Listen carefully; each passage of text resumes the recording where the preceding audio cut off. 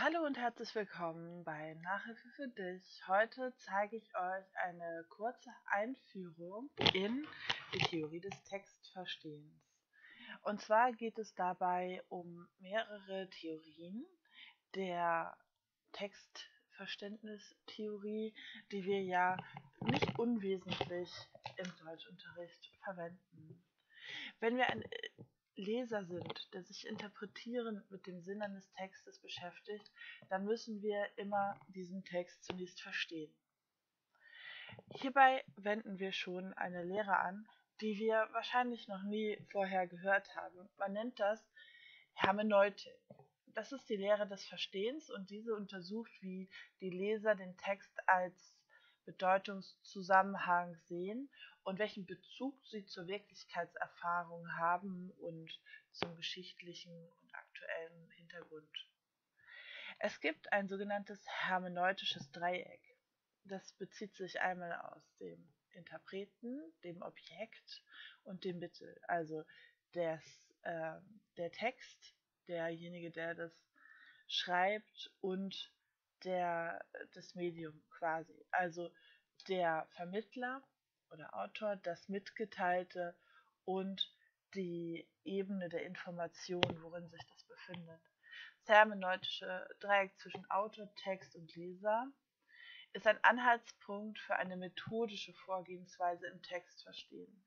Die Hermeneutik verwendet äh, die Fragestellung, welche Probleme wir in Sachen Verständigung haben können, wenn wir einen literarischen Text vorliegen haben. Und zwar kann es ja sein, dass ein Text aus einem bestimmten geschichtlichen Kontext kommt, da wir aber aus einem anderen geschichtlichen Kontext kommen, verschmelzen diese zu einem gegenwärtigen Verstehenshorizont. Ein Autor aus früheren Zeiten wird bei damaligen Lesern andere Erfahrungen, Normen und Ausdrucksformen voraussetzen können und vorfinden, als dies bei heutigen Lesern der Fall ist. Und das wird in diesem hermeneutischen Dreieck berücksichtigt. Wenn wir mit Hilfe des hermeneutischen Dreiecks anfangen, Texte zu verstehen, kommen wir dem Textverständnis, so wie es sinnvoll ist, näher. Es gibt noch andere Methoden, sich den Text zu erschließen, und zwar eine biografische Methode.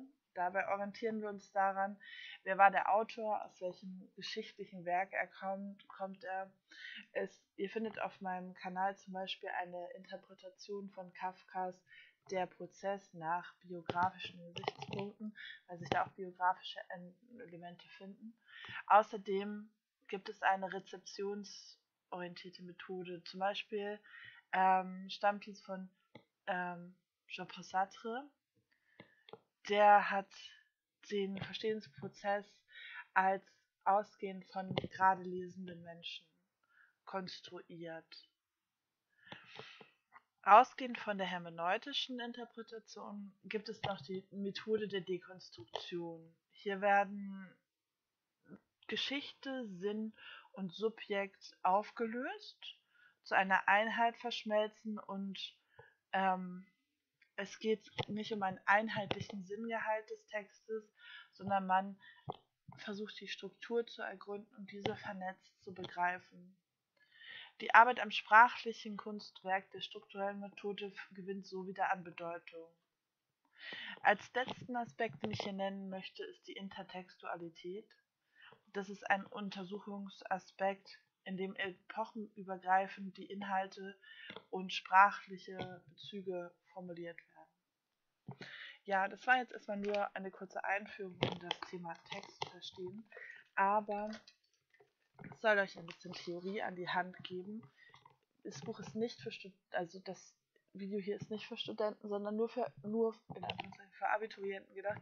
Also bitte flamet mich nicht dafür, wenn das nicht eurem Anspruch genügt. Es soll eine, ein Einstieg sein. Über Hermeneutik könnte ich ganze, ganze Kanäle gestalten. Muss ich aber nicht, weil es nur erstmal ein Impuls ist für Abiturienten. Danke und bis bald.